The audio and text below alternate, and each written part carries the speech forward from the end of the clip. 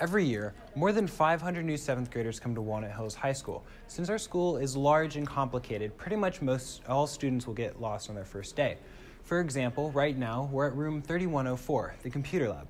I'd like to get to the engineering lab, which is 3701. It might look like I could just walk across the third floor, but in all actuality, these two sections aren't connected on this level.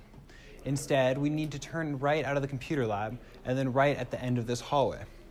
And it can be confusing navigating our school, and we're not able to use GPS because there's multiple floors, and the GPS won't be accurate enough to tell us which floor we're on.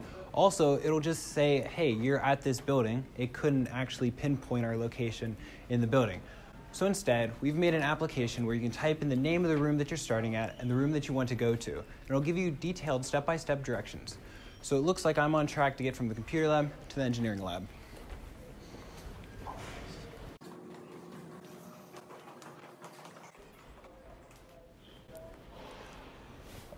But how did we actually manage to make this application? With more than 250 rooms for our school, we couldn't possibly manually write all the directions for every possible pair of rooms. Instead, we've developed a system for modeling a building so that we can automatically find a good route between any pair of rooms. That might seem like a lot of work for one building, but we didn't just build our system for our school. We've published it online as an open source library so that anyone can use it to model their own building. Once you've created that model, our library will automatically generate an undirected graph and use Dijkstra's algorithm to find a good path from any room to any other room. We've published detailed documentation for our library online with pictures and code examples so that you can learn to use our package to model any complex building that you want to.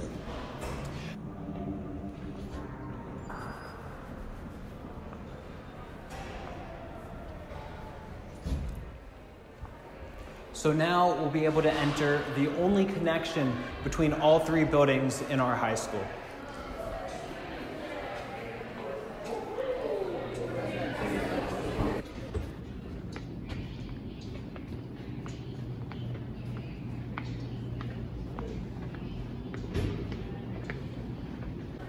Now that we've used our library to create an application for our own school, we'll continue to improve it and extensively test it.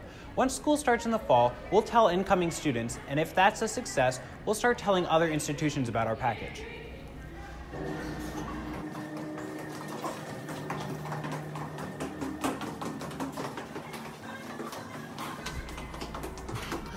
To try out our app, you can go to walnut.direct, and to try out our package, you can go to roomfinder.walnut.direct.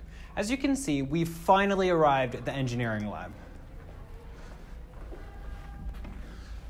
Let me in! Let me in! I didn't